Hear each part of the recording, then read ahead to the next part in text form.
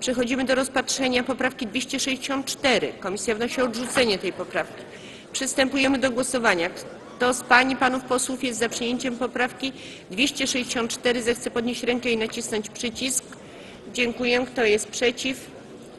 Dziękuję. Kto się wstrzymał? Dziękuję.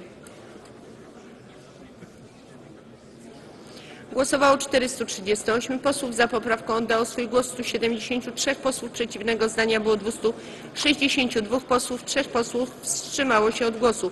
Stwierdzam, że Sejm poprawkę odrzucił.